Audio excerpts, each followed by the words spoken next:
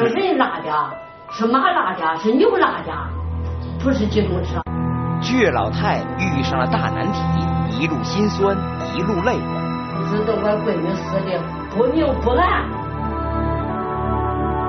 六年五裁决，公平为何来的如此艰难？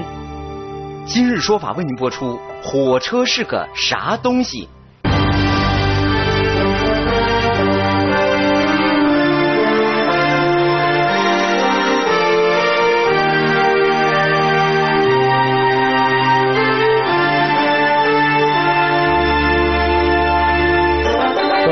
是今日说法，欢迎您进入我们今天的节目。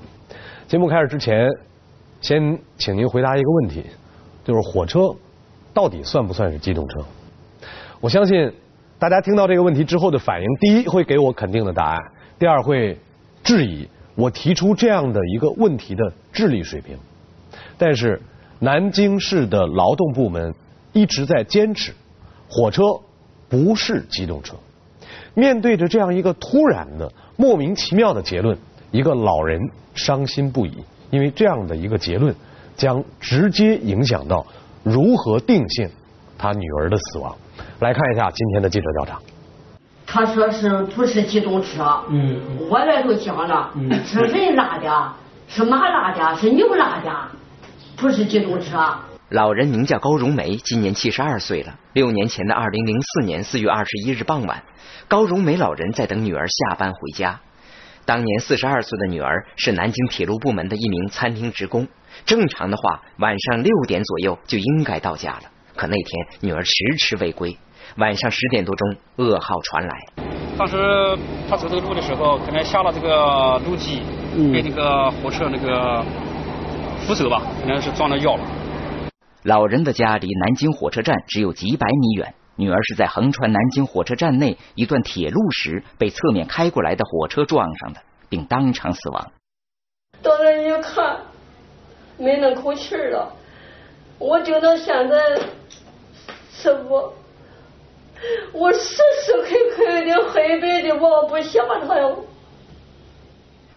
高荣梅老人祖籍山东，四十多年前和老伴一起来到了南京，十三年前老伴儿先他而去。已经结婚的女儿怕老人孤单，将老人接了过来和他一起住。每天傍晚下班的时候，老人都会趴在窗口向远处张望，因为那是女儿回家的路。可现在女儿永远也不可能回来了。忍住悲痛将女儿安葬之后，高中梅老人觉得事情不能就这样结束了。老人认为女儿被火车撞死了，应该有人负责。可根据铁路部门当时的规定，被火车撞死的最高只能赔偿三百元。老人和家人想到了另一个渠道，到这儿看看我闺女，到我就要弄个清爽。闺女去上班去，没回来，不给我们算工伤。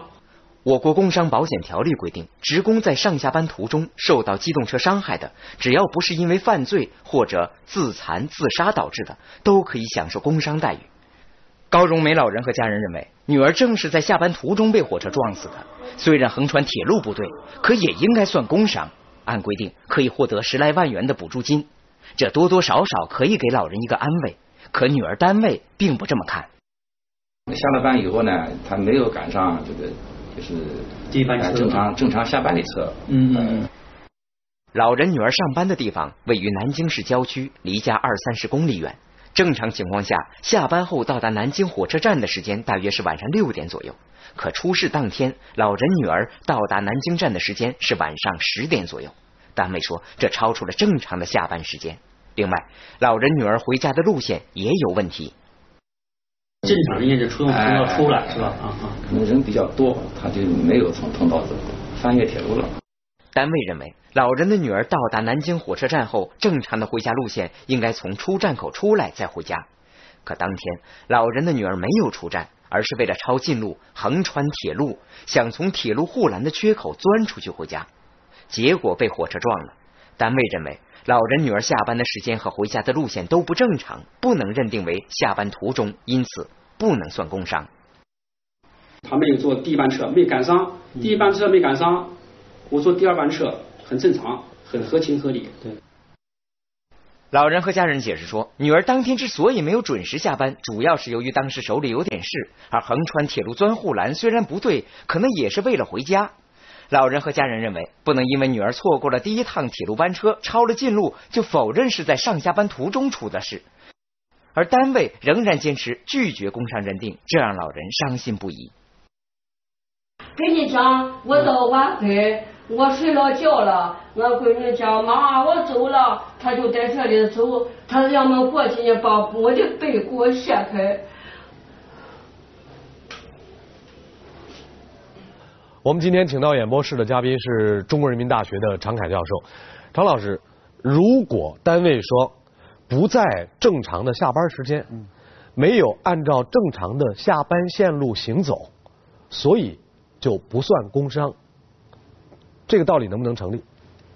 通常情况下呢，如果在这个通常我们大家一般走的这条线路都应该算的。对。而且在这个上下班途中啊，在这个时段当中，这都应该考虑是算的。嗯嗯嗯。啊，但是你要具体到啊五点到五点半必须这一段啊六点就不算了。嗯。这恐怕就不够合理。嗯。因为会有无数特殊的情况出现。这块出现了什么特殊的情况？我选择另外一条道路，这是没有办法用。一种简单的方法来描述的，在这个正常的情况下，人们的一种选择，而不是我故意去绕道，我去办私事去，嗯啊，我这绕绕很远，跟这个上下班的途中没有直接关系的，嗯，他都应该是考虑到属于上下班途中的啊，因为在和单位交涉的过程当中，没有得到任何呃有效的结果，嗯，所以高荣梅老人呢就找到了南京市的劳动主管部门，主管部门。也明确的说到啊，在上下班的时间的问题上，线路的问题上，他们没有什么疑义。不过，他们提出了一个更加让老人觉得不可思议的问题。目前为止，我们所掌握的任何资料里面，没有哪一个法律规定，有仰灯床、飞机，它都不属于机动车。南京劳动部门说，上下班途中受机动车伤害。当然可以认定为工伤，可问题在于，老人女儿不是被机动车撞的，而是被火车撞的。火车不是机动车。为此，南京市劳动部门拿出了《道路交通安全法》，上面写着：机动车是指以动力装置驱动或者牵引上道路行驶的轮式车辆。它这里面告告诉我们，哪些属于这个机动车？这个机动车在行驶在什么地方？哎，火车是不能在街道里面行驶的。那是对对。南京市劳动部门认为，火车是在铁轨上行驶的，不是在道路上行驶的，不是法律定义上的机动车。因此，高荣梅老人的女儿不能享受工伤的待遇。高荣梅老人退休前也是一名铁路职工，和火车打了一辈子的交道。南京市劳动部门这个“火车不是机动车”的说法让他有点懵。火车不是机动车，那是什么车呢？老人的儿子查询了现代汉语词典。就代表机动嘛，机动车。嗯嗯嗯，利用机器开动的，就是机动车。记者也查阅了相关的资料，火车最早是靠蒸汽机驱动的，后来发展到烧油的内燃机，而现在大多靠电力驱动。也就是说，火车一直是靠机械力来驱动的。根据现代汉语词典里的解释，火车应当属于机动车。那么，在常人的眼里，火车到底是不是机动车呢？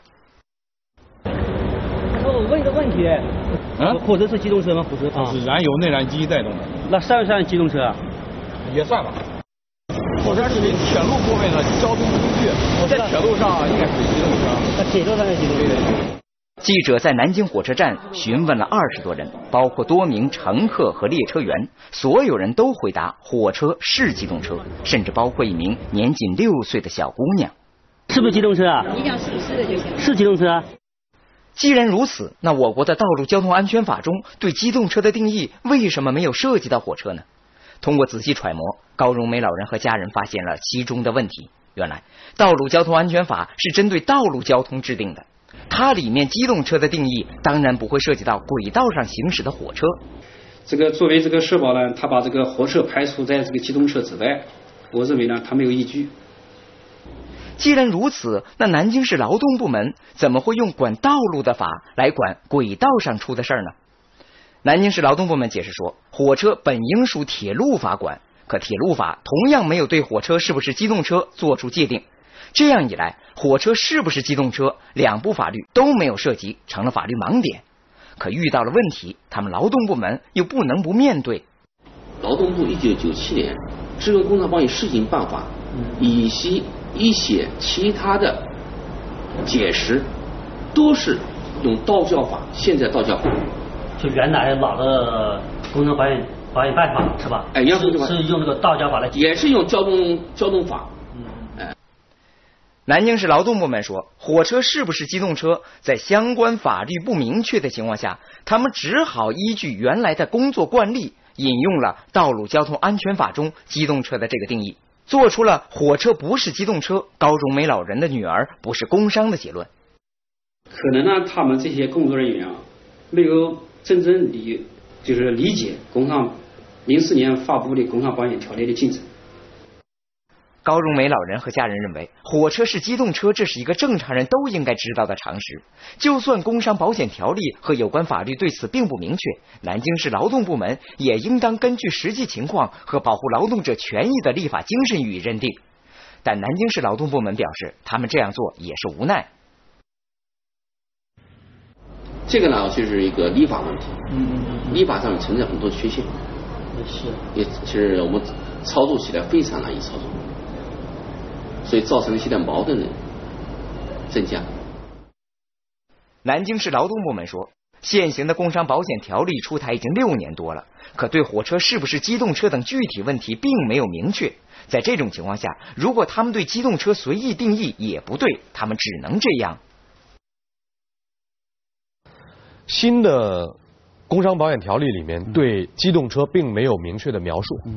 而南京的劳动主管部门，他们说，他们按照自己的惯例，一般是用《道路交通安全法》来界定什么是机动车。嗯，这种界定的方法是否妥当？呃，这里边有个适用法律的问题。嗯，那么机动车呢是一个大概念，对，还可以分为这个道路机动车和轨道机动车。对，这是不一样的。嗯嗯嗯。啊，那么《道路交通安全法》的话呢，它指的仅仅是。道路机动车，对，它没有包括轨道机动车。嗯嗯嗯。但是呢，我们这个工伤保险法并没有限定啊，这种事故只能是道路机动车，它仅仅提的是机动车。嗯嗯。所以呢，用这个道路机动车来涵盖整个机动车，嗯，显然是不准确。其实我们呃不难发现，这几年呃在上下班的过程当中，呃职工被火车撞死或者是撞伤的案例。呃，并不少见。我们来了解一下。零四年六月，四川省成都市的清洁工旦秀英在上班的途中被火车撞伤。零四年六月，上海市虹口区职工赵某在下班的途中被火车撞死。零七年的三月，辽宁省沈阳市的矿工刘某在上班途中被火车撞死。我们刚才讲到的这几起事故，最初当地的劳动主管部门也以火车不是机动车为由。呃，拒绝认定是工伤，呃，但是在法院进行判断的时候，他们认为用《道路交通安全法》来判定火车是不是机动车，适用法律不当，并且最终认定这几名职工都是工伤。因为有了前面的这些判例，所以高荣梅老人对于自己的女儿，呃，最终死亡性质的认定还是充满信心的。没想到，他接下来要走的这条路会如此的漫长。长达五年之久，驳回，驳回，还是驳回。羸弱的老人被一次次重击，他能否坚持到底？火车是个啥东西？今日说法继续播出。十三年前，老伴儿走了，没想到如今陪伴老人的女儿又死于非命。现在这座房子里只剩下高荣梅老人一个人了。以后的路只有老人一个人孤独的走下去了。老人说，在以后的路上，自己没有过多的想法，只是希望能够为女儿讨一个公道。嗯，我不喜欢，好像为了俺闺女这个事情，我是呃要钱，我不是这个意思。嗯嗯，同志，我就是知道我闺女死的不明不暗，呃，不明不暗的，就这都拉倒嘛。二零零五年四月，高荣梅向原江苏省劳动和社会保障厅提出行政复议，要求认定女儿的死为工伤。原江苏省劳动和社会保障厅仍然以火车不是机动车为由驳回老人的请求。二零零五年八月，高荣梅老人向江苏省南京市白下区人民法院提起行政诉讼，要求认定女儿的死为工伤。白下区人民法院以同样的理由驳回。二零零六年一月，高荣梅老人向江苏省南京市中级人民法院提起上诉，南京市中级人民法院终审驳回。二零零七年一月。高荣梅老人向南京市中级人民法院提起再审申请。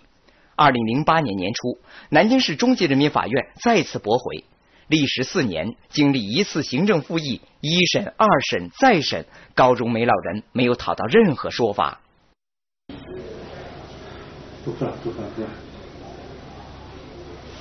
四年四次裁决都是驳回。家人说，每次被驳回，老人都要受到一次打击。一连四次的打击让老人的身体越来越虚弱了。他们曾劝老人放弃，好好的安度晚年。可老人说，这样的结果让他的晚年如何能安心？二零一零年初，老人又向江苏省高级人民法院提出了再审申请。这一次，事情终于有了转机。那么，因为工伤保险条例，它和道路交通安全法它所调整的领域是不同的，范围也是不同的。